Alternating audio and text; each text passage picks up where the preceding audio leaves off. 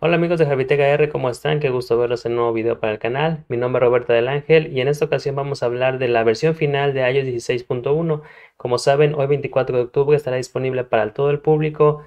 Eh, les vamos a comentar nuestras experiencias. Funcionó mejor en estos últimos días que la hemos probado. Eh, hay mejoras en, en batería, alguna función nueva que podamos ya utilizar. Les platicamos a continuación. Comenzamos. Muy bien amigos, como ven en pantalla, aquí les vamos a comentar el peso de esta versión eh, o la última versión de prueba que salió el martes pasado, la versión candidata a salir, que es la misma que está saliendo para el público el día de hoy, 24 de octubre. El peso en un iPhone 10, que es el que tenemos nosotros, es de 4.58 GB. Como ustedes ven, eh, ya aquí se nos envió todo el sistema como tal para que se instalara.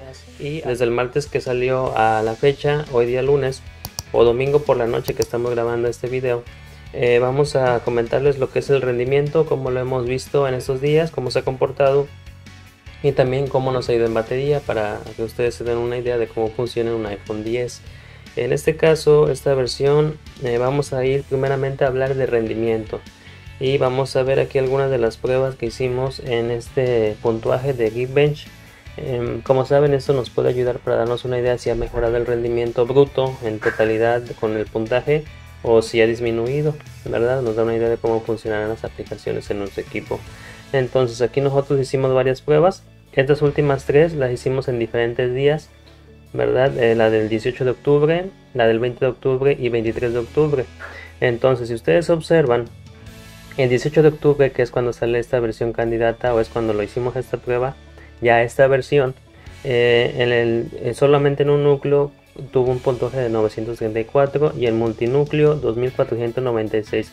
Si ustedes observan hay una mejora de unos casi unos 100 puntos, un poquito más de la beta número 5 que fue la última que se analizó, que ustedes ven ahí con fecha del 12 de octubre.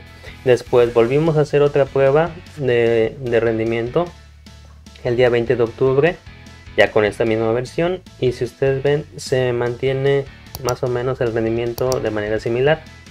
El single core o el solamente en un, en un núcleo de 922 puntos y el multinúcleo de 2478 si ustedes observan se mantiene muy similar. El día de el día 23 de octubre que fue el día domingo eh, solamente en un núcleo 931 y el multinúcleo 2470 si ustedes observan ha mejorado el rendimiento en relación a las betas 3 y beta 5 que fueron las que vimos o las que pudimos probar nosotros en los videos que subimos aquí a Harvitech. Entonces, con base en esto, ¿cuáles son nuestras impresiones en estos días que la hemos utilizado del día martes que salió esta versión candidata a salir?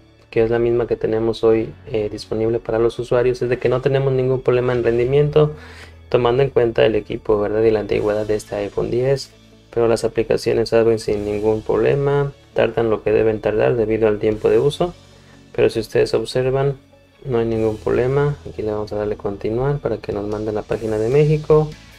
Vamos a abrir la página de los nuevos iPad. Si ustedes observan eh, funciona bien. Aquí tenemos la aplicación de la App Store.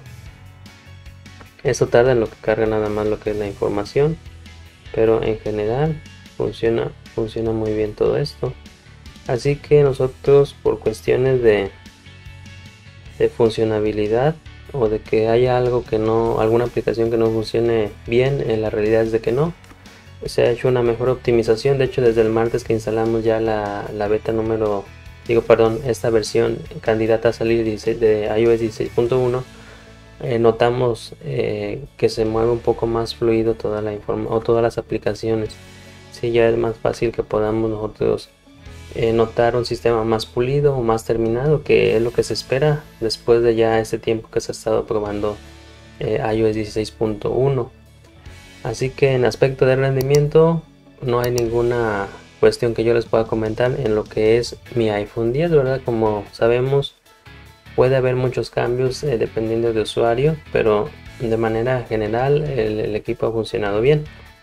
Ahora que ya ha salido iOS 16.1 eh, ya están activas varias de las funciones que en su momento habían quitado Apple o que había necesitado que trabajara más para que estuviera disponible eh, de manera óptima para los usuarios.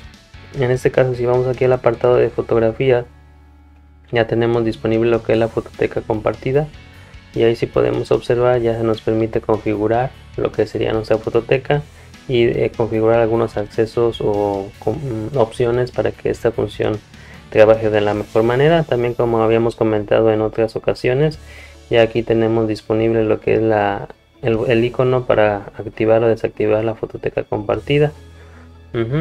Entonces en ese aspecto este ya está disponible.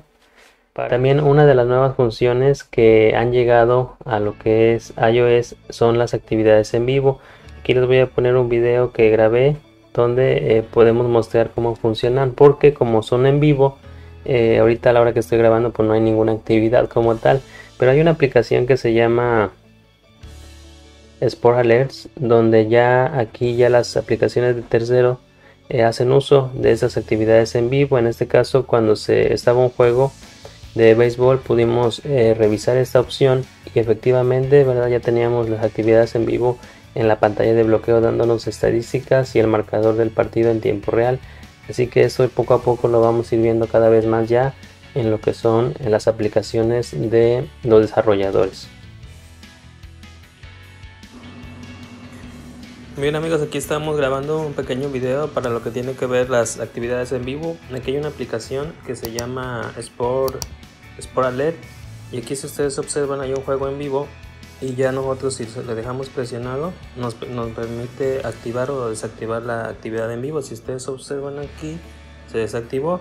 Pero si le dejamos presionado nuevamente nos comenta aquí iniciar actividad en vivo.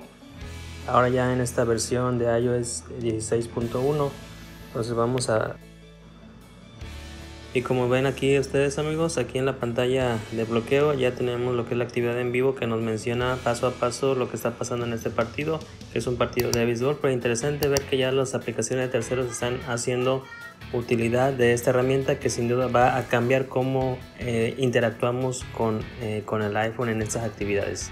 Hablar de batería, en el apartado de batería vamos a ir aquí a, a lo que tiene que ver con eh, configuración y vamos a batería y vamos a ver cuál ha sido el rendimiento de estos días. El martes salió esta versión lo hemos estado utilizando.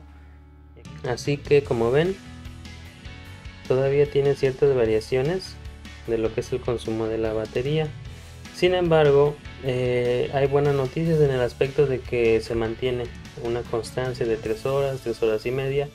En mi caso el iPhone eh, ese es el rendimiento aproximado que alcancé a obtener. Si nos vamos a 4 horas ya sería mucho tiempo de batería, perdón, mucho tiempo de pantalla encendida, 4 horas, pero 3 horas, 3 horas y media es el promedio que se ha mantenido, que es lo que yo estaba revisando, ¿verdad? Que hubiera cierta estabilidad, aunque claro, varía un poco al utilizar ciertas aplicaciones, pero que se vea que hay una, hay una, que hay una estabilidad, más que nada, ¿verdad? En el rendimiento para que así nosotros sepamos cómo vamos a manejar la batería que tenemos en nuestro aparato.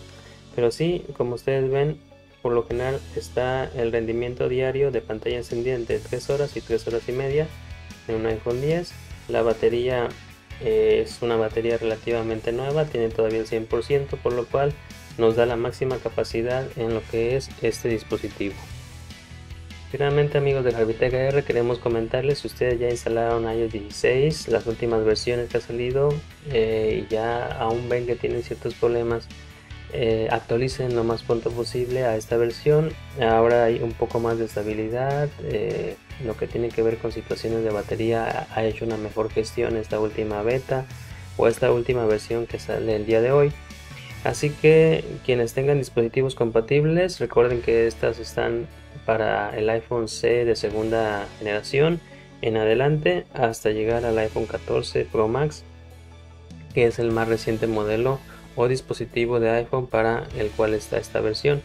Así que en, nuestros, en nuestras impresiones, todos esos días o semanas que hemos probado las betas, queremos comentarles que hemos visto que sí ha habido cierta mejora, principalmente en esta última versión que ya salió o que salió el día de hoy.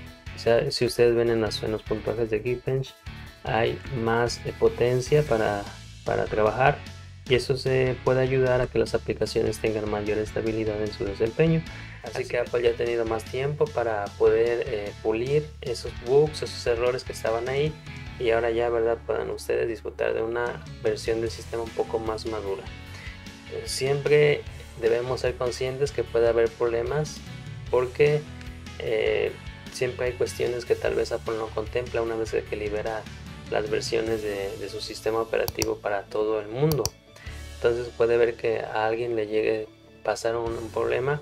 Sin embargo, ustedes saben que Apple por lo general cuando detectan un problema que causa mucho daño al, usuario, eh, inmediatamente ¿verdad? proceden a hacer los ajustes para solventarlo.